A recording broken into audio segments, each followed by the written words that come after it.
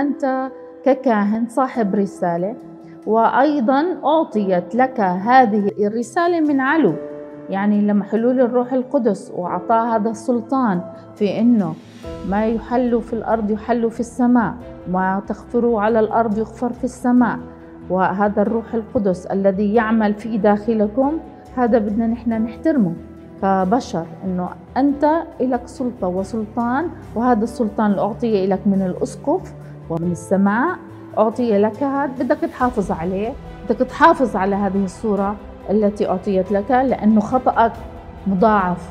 لكن أنت بتعرف التوازن كيف تظهر أمام الناس من خلال رسالتك وكيف تظهر أمام الناس من خلال وظيفتك. أنت ليس ملك نفسك أنت ملك الشعب أنت ملك الناس.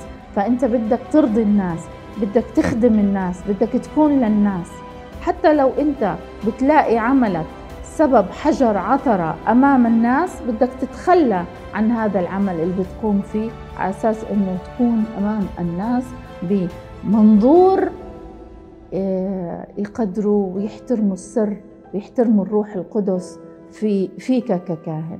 التخلي مش معناته إنه التخلي عن حرية أم التخلي عن شيء أنت متعلق فيه.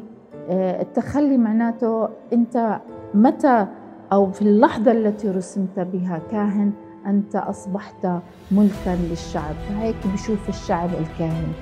المتخلي عن ذاته المتخلي عن نفسه من أجل رعيته من أجل الناس المتألمة. مثل ما ربنا مثل يسوع المسيح بذل نفسه وذاته على الصليب ومات من أجل الناس.